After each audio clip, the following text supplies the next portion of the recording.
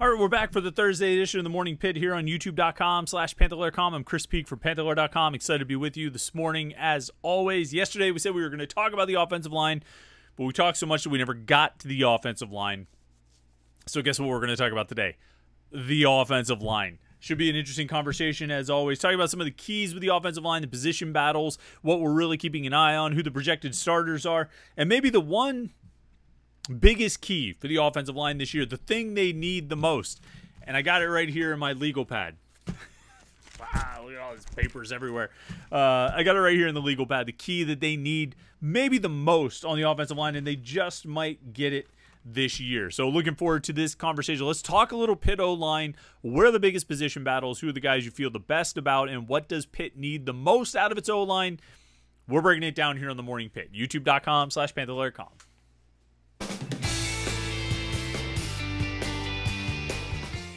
Yeah, it's Thursday. It's the Morning Pitt. It's youtube.com slash panther.com. I'm glad you could tune in today. Pitt will be uh, practicing in the south side. I guess they practiced yesterday, but it wasn't open to the media. Um, today's practice will be, at least a portion of it will be, and we'll be down there to uh, give you everything we can find about the practice, everything we see. We'll write about it, everything we see during the open practice window. We'll have photos, we'll have videos, press conferences, interviews, and all those things. Just like we've had coverage uh, all week this week, and you know since camp started last Wednesday, it's all going to be right here at uh, you know right there the website panther-lair.com pittsburgh.rivals.com and then right here on our youtube page youtube.com slash panther.com if you're subscribed to our youtube channel you know some of the stuff we put up in the last few days all the interviews all the press conferences. We've had practice highlights from the first day in full pads on tuesday.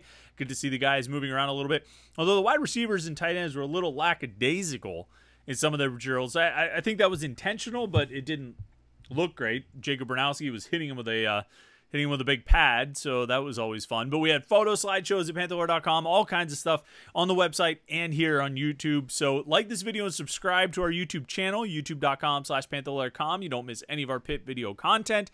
And then head over to the website, panther-lair.com, pittsburgh.rivals.com for everything you need in terms of coverage of Pitt football, basketball, and recruiting. We've got it all right here at panther-lair.com, pittsburgh.rivals.com com. You know, I often reference these the the legal pad.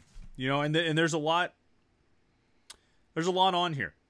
Um you know, I'm just kind of glancing through some of the things that that that, are, that show up in this uh, legal pad like uh let's see. Oh, this.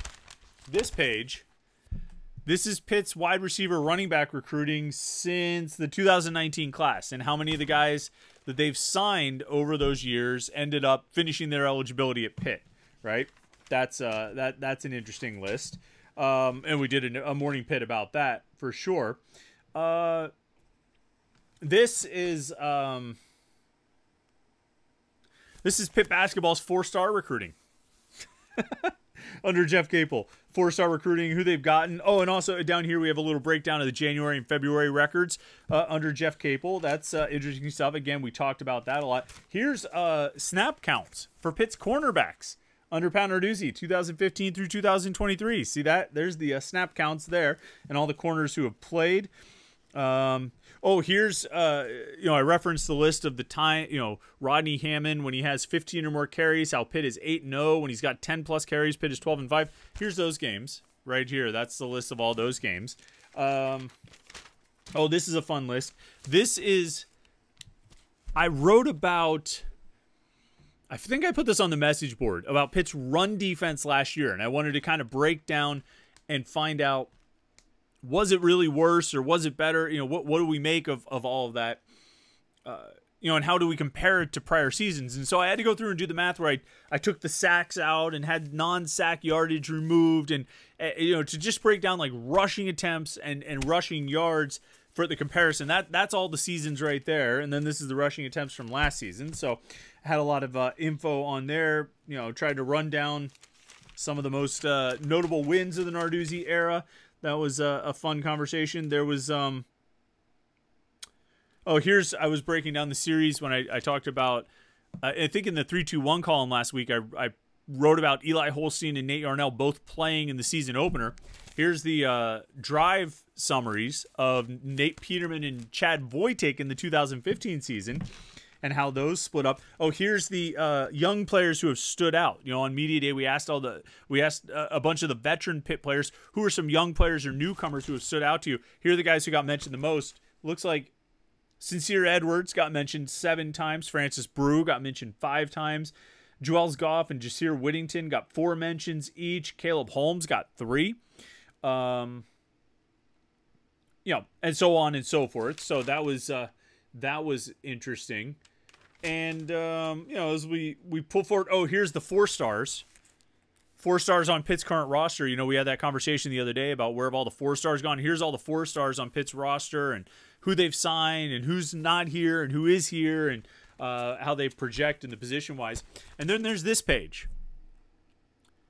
This is offensive line snap counts dating back to the 2017 season. Now, why would I have offensive line snap counts dating back to the 2017 season? This is where we dovetail in with today's conversation about the biggest key for the Pitt offensive line this season. Why would I have this list? Why would I have gone through on Pro Football Focus and and written down all the snaps or, or the snaps that anybody who played more than 100 snaps or pretty much 200 snaps at any point in the, since the 2017 season. Why would I write that down? Well, let me tell you. Last year, Pitt had one, two, three, four, five, six, seven, eight offensive linemen play at least 353 snaps. Eight in a 12 game season. And that doesn't include Matt Goncalves or Ryan Jacoby, projected starters for the season. Goncalves, who was a starter at the beginning of the season and then got hurt. Ryan Jacoby, who didn't play at all. I think you see where I'm going. 2022, 1, 2, 3, 4, 5, 6, 7, 8 offensive linemen played at least 234 snaps. 2021, 1, 2, 3, 4, 5, 6, 7 offensive linemen played at least 450 snaps. 2020, 1, 2, 3, 4, 5, 6, 7, 8 offensive linemen played at least 194 snaps in an 11 game season. 2019, 1, 2, 3, 4, 5, 6 offensive linemen played at least 548 snaps. What am I talking about? Why am I saying all these things? Why am I am I listing all of this off? Why am I running over these numbers? I'll tell you why. Because you have to go back to basically then 2019 before you find a year where Pitt was able to get through the season with basically just five or six offensive linemen. That's what I'm getting at. And you look at, you know, because I think we often reference, oh, Pitt just had injuries on the offensive line. There's no question about it. And I think it has, you know, considerably impacted the product on the offensive line. It's impacted the consistency of the offensive line. It's impacted the performance, the effectiveness, and the impact of the offensive line. When last year, they had again one, two, three, four, five, six, seven guys play at least 350 snaps, not including two guys who were projected starters at the beginning of the year. You know, Jake Kradel missed three games. Matt only played three games, and Brian Jacoby didn't play at all. You end up shifting guys around, and you throw in sort of the roulette that they had, the the the shifting back and forth of Jason Collier and B.J. Williams. It just it creates inconsistency and it creates struggles along the offensive line. 2022, when they had nine, uh, eight guys play at least 234 snaps, and, and I go down to 234 because Carter Warren played 234 snaps. He played four games. You know, Owen Drexel played 316 snaps in six games. Gabe Houy was limited to eight games, played less than 400 snaps. Injuries, going to the depth. And sometimes it, it benefits you. You know, 2022, like we're talking about when Gabe Houy got hurt and Carter Warren got hurt, Branson Taylor ended up playing more than 400 snaps. Goncalves played 830 snaps. You know, probably wasn't going to be in the starting lineup, but the injuries with Houy and Warren opened the opportunity. It, most more Houy than Warren uh, when it comes to Goncalves because I think he took over for Houy at right tackle. But that opens the opportunity. And so that should have benefited Pitt for 2023 to have all that experience for Taylor and Goncalves. But instead, Goncalves got hurt. Taylor ended up playing 640 snaps, started every game at left tackle. He was the man. Uh, but Goncalves got hurt. Uh, or uh, I forget if he started every game at left tackle, but he started every game. Uh, and Goncalves gets hurt. You have this pattern of injuries really over the last four seasons that you end up testing your depth more than you would probably like to. Uh, nobody's going to have 10 elite offensive linemen. You know what I mean? You you hope that you can have six or seven that you're comfortable playing. Pitt has regularly had to push that number into eight or nine over the last four seasons. Really, 2019 was the last time they were able to get through with, with just six guys.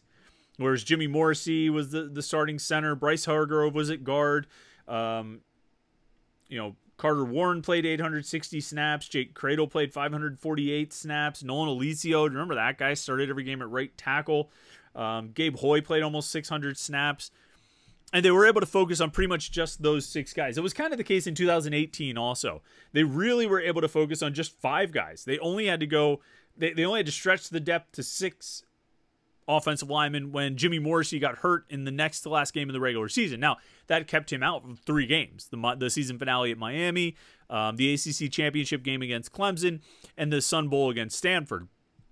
But they pretty much stayed healthy up until those last three games. And so you had, you know, Stefano Millin played 900 snaps, Mike Herndon played 850, Connor Dintino played 850, Alex Bookser played 820. And then Bryce Hargrove ends up getting 300 snaps because Jimmy Morrissey had to come out after 700 uh, because of his injury. So those two years, and, and even 2017, they were largely healthy that year. They pretty much got through with five guys. Brandon Hodges rotated in a little bit, but Brian O'Neill, Alex Officer, Jimmy Morrissey, Alex Bookser, Jaryd Jones Smith, they were pretty healthy. You know what I mean? You really didn't have the injury issue that that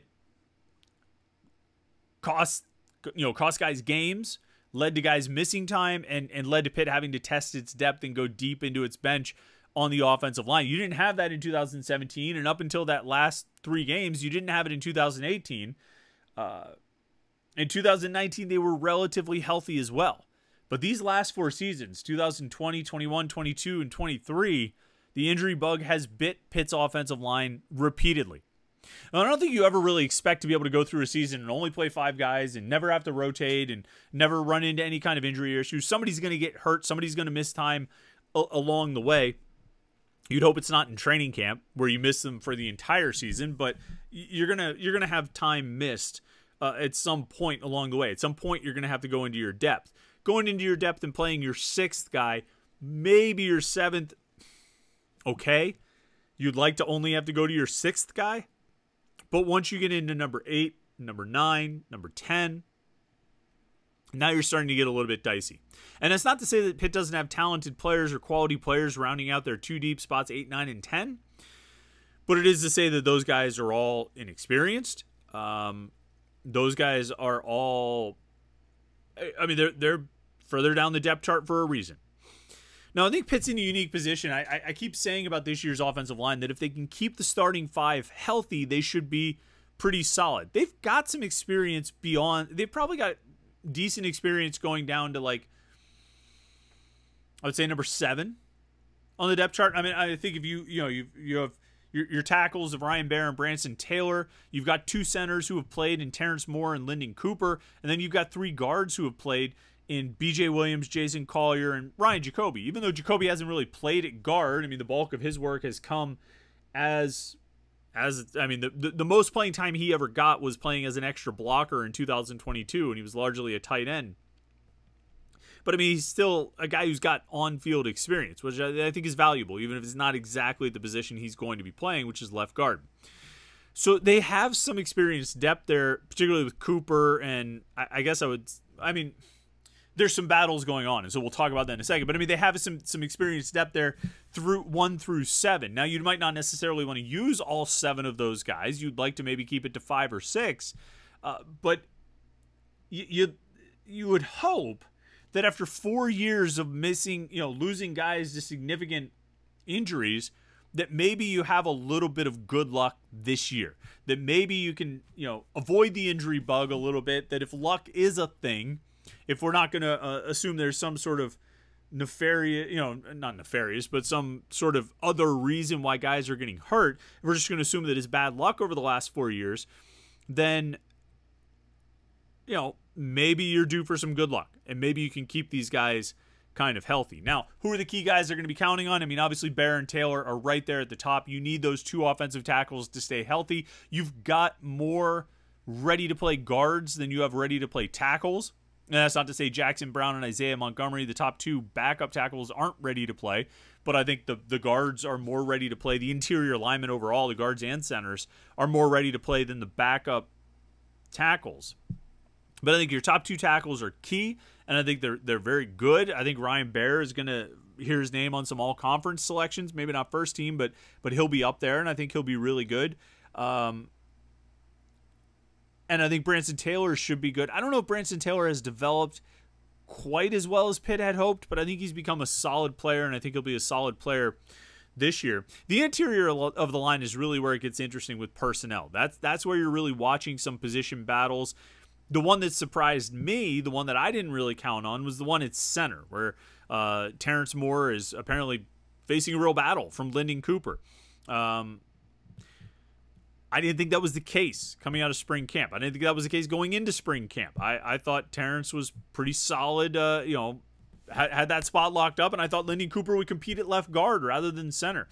Well, it seems like that's not entirely the case. Pat Narduzzi said the other day that Terrence Moore ended spring camp hurt, so that gave Lyndon Cooper an opportunity to move up.